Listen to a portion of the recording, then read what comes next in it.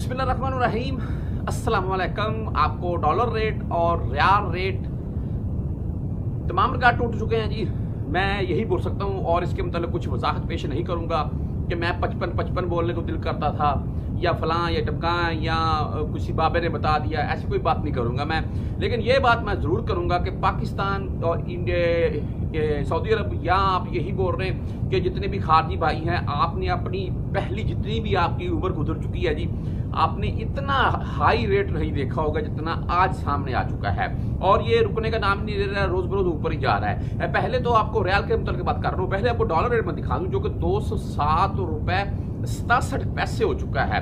कल से एक रुपए बीस या इक्कीस पैसे मजीद, एक रुपए बीस पैसे मजीद एक ही दिन में भाई डॉलर तगड़ा हुआ है, रुपए की निस्बत। और अगर रियाल रेट के मतलब बात करें एक्सचेंज रेट पहले आप देख रही, पचपन अट्ठतीस कितना? पचपन अट्ठतीस रेट सामने आ रखा है और ये एक्सचेंज रेट है अभी तक का। पचपन का फिगर लग चुका है। अभी मुख्तलिफ़ बैंकों के हिसाब से आपको बताता हूँ मैं क्या बैंकों में भी पचपन का फिगर लगा है कि नहीं। ये देख लेते हैं। सॉरी सबसे पहले हम इंजाज बैंक की बात करेंगे, जो कि चौवन रुपए चौतीस पैसे रेट हो चुका है। चौवन रुपए चौतीस पैसे रेट हो चुका है, दस, सत्रह एंड तेईस रियल फ़ीस के साथ है। राज़ी बैंक की बात करें तो आपको चौवन रुपए चौदह पैसे रेट मिलेगा, दस, सत्रह एंड तेईस रियल फ़ीस के साथ है। अगर बात करें हम एस पे की तो यहाँ पर आपको चौवन रुपए चौबीस पैसे रेट मिलेगा, सत्रह रियल फ़ीस के साथ है।